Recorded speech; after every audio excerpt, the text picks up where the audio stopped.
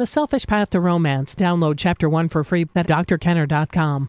What if you are dating somebody and you're at an age where intimacy is appropriate and you decide you want to marry this person and the person doesn't like sex? How do you deal with that? And you do. Is that a deal breaker or what? Let's let's listen to this from Andy and see what you think.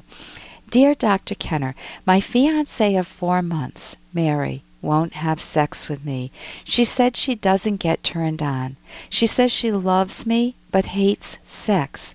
We only had sex twice, and that was at the beginning of the relationship.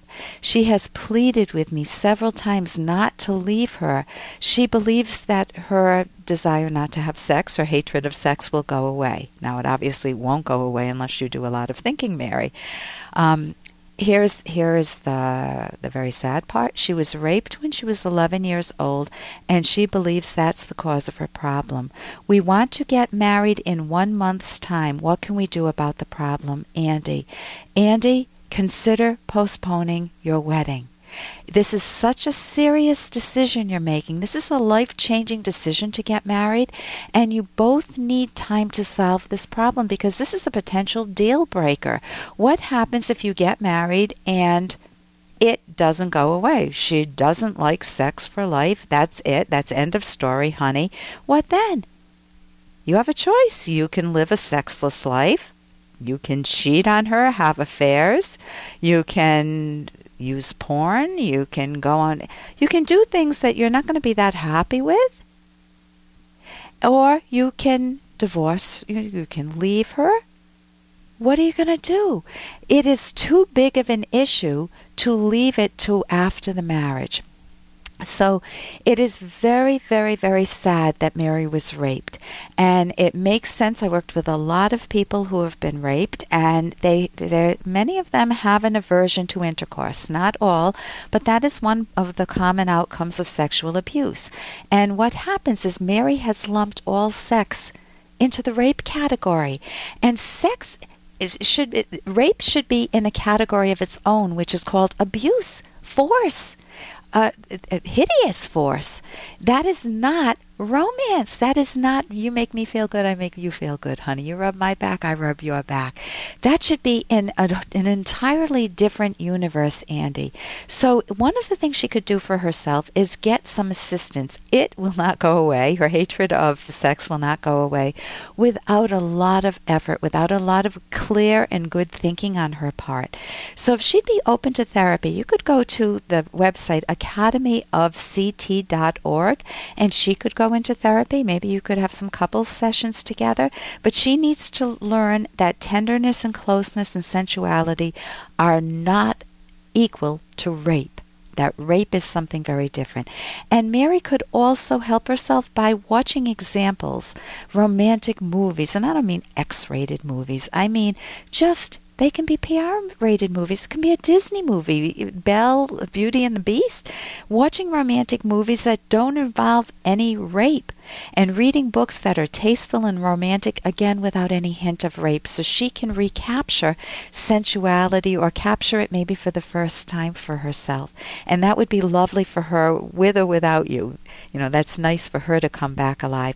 For you. Hey, I got to interrupt this because we've got to pay some bills. 30 seconds, that's it. A very quick ad, and then Ellen will be back. Romance. I wish I knew more about what girls want from a relationship. Boy, I wish I knew more about what I want. Where's that ad I saw?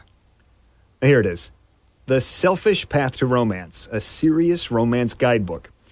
Download chapter one for free at selfishromance.com and buy it at amazon.com. Huh. The Selfish Path to Romance. That is interesting for you. Sex is very important to you, otherwise, you wouldn't have taken the time to ask me the question. Twice in four months for a young couple is not an active sex life.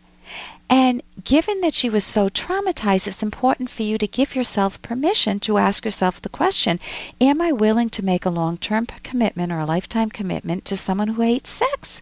And if your private answer is no, Liberate yourself. You have no obligation to stay with her if she's offering you a sexless marriage.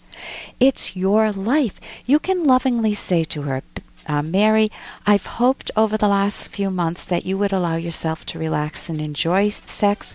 I can see that rape has taken a toll on you, and I would be lying to say that that would be okay for my entire life.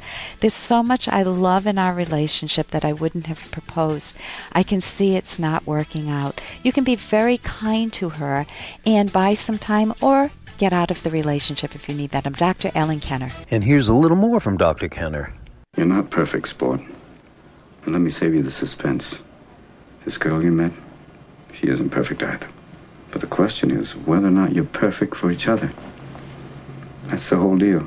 That's what intimacy is all about.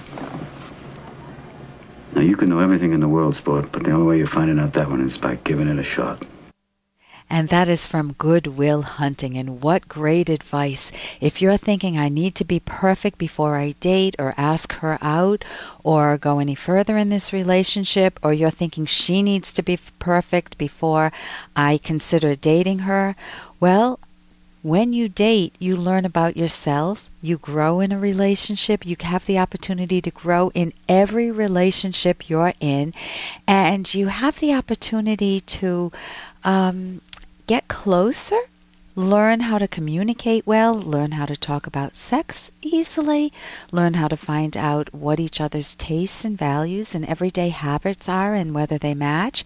And I cover all of that in a book that Dr. Ed Locke and I have written. It's called The Selfish Path to Romance. And we use the word selfish not in the conventional way, we use it not as being mean a me only person or my way or the highway type person, but self valuing. How do you cherish yourself and cherish one another in a relationship over a long period of time?